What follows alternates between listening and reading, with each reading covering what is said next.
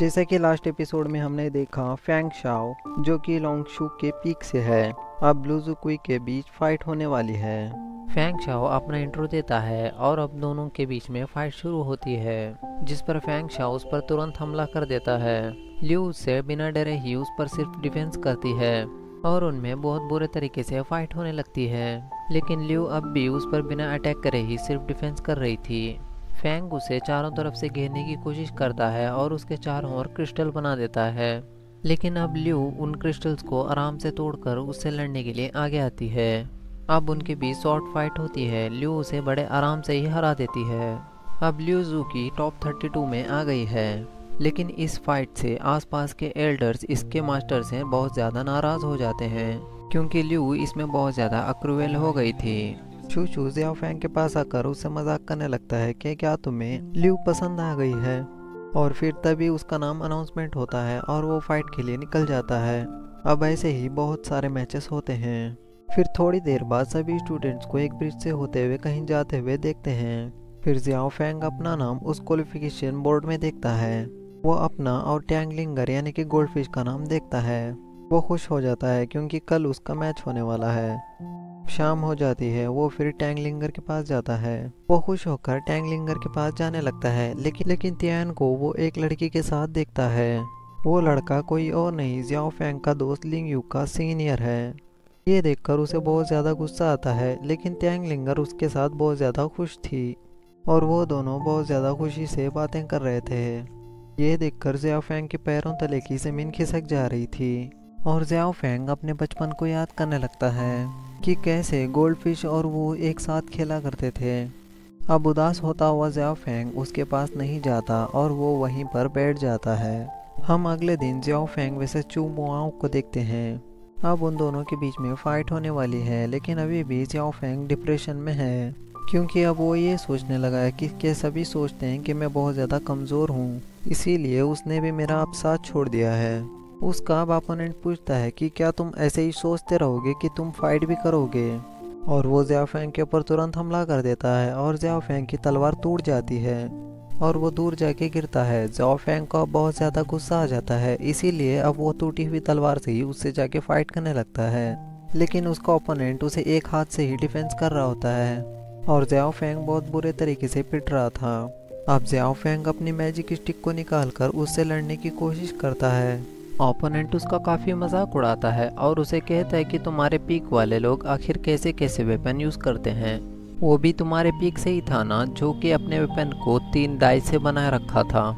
और अब तुम मुझे ये लकड़ी लेकर मुझे मारने आ गए। और फिर से फैंग साइड में देखता है।